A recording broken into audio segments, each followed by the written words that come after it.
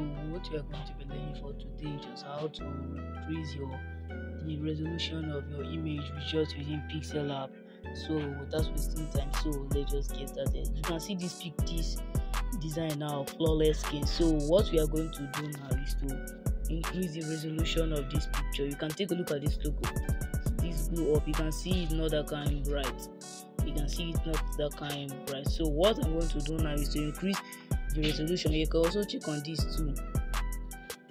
You can see, check on this is not that kind bright so firstly let's check the size of this image this design. So this is the size of the design 3840 per 3840 because that is the size that we use for the design. So what i'm going to do now is to show you guys the resolution of how this image look like. So let me just try reducing it to 1280 per 1280 okay i click on ok then i go to my gallery.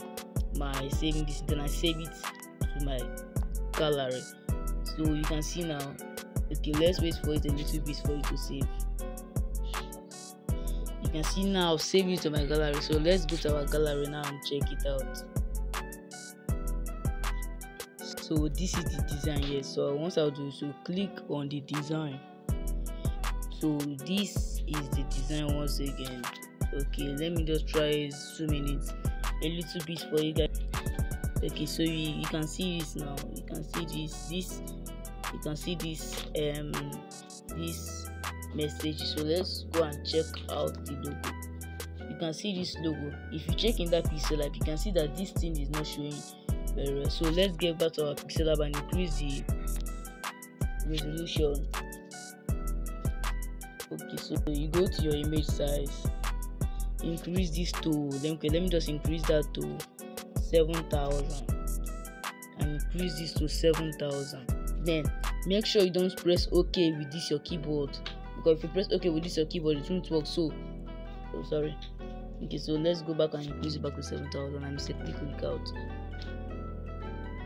so you go back click on this your this thing here your phone this you click on it you go back then you can click on ok.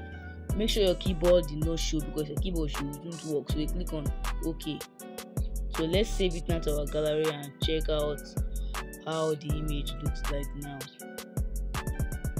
Okay now you can see that it's taking much time than the other one that we save you can see that it's taking much time because the as it's taking time the higher the storage the higher the this the storage. Okay so let's wait to see saving you can see now okay this one i saved now the storage will be higher than that old one that i saved. Okay now it's done saving to the gallery. So let's quickly check it out. Okay first let me show you this this um, size of this one.